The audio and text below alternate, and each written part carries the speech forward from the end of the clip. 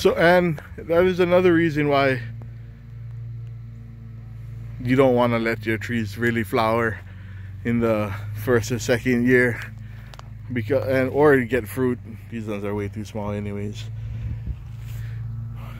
This guy got a branch knocked off of him earlier but you don't want to let these guys flower because even if it does have fruit and even if it could support two three fruit the pigs are gonna nail them and they're gonna break your tree in half and they're gonna break all the trees that have mangoes on them. Not when they're small. When the mangoes are small, they're good, but as soon as they get half ripe size, they'll break your trees in half.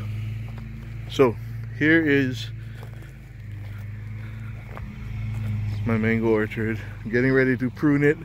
These this area, the trees are a little smaller.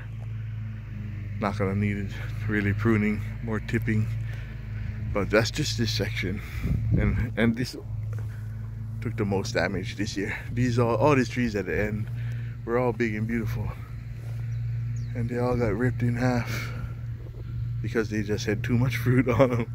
And it was too much temptation for the pigs. Right, so I'm gonna come in and I'm gonna, these are not good trees because they're too early, too small. I'm gonna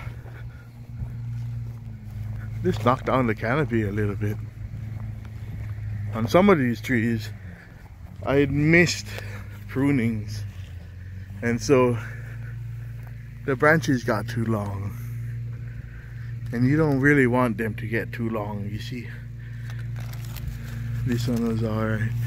But like this one for example like having this branch look one flush here another flush here another flush here another flush here without pruning way too much I mean, it would have been all right to let it go two flushes to get a little bit, some length in between the branch. But I should have really pruned it right here. And then it would have been stronger. Now, if it gets fruit, it'll just bend all the way down. It'll just bend all the way down and either break the branch or the fruit will be on the ground pigs trying to climb up the tree. So when you're pruning or establishing the orchard, you really want to try and I'm just kidding, the rain is starting. When you're establishing the orchard, you don't want to miss flushes. You want to be able to get in there. I'm saving these ones because I want to graft off of this tree.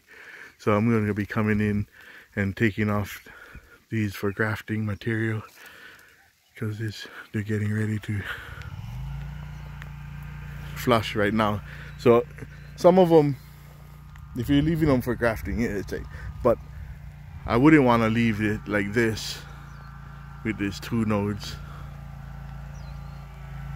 because then it would get too long and then the branches would bend so much easier once it starts fruiting. So as you go through your pruning some trees like this one which are smaller will just require tipping. I'll go in and tip all of these off. This is a white Pirie and white Pirie is so easy to graft that I often get 85% success. So I gotta watch out when I do Pirie or I'll end up with only white Pirie. But this one, white Pirie has a great shape for a mango tree. Lots of branches, full canopy, always works into a great shape. But you gotta make sure you keep the pruning up. Alright, it's raining too much. So I'm gonna have to stop here.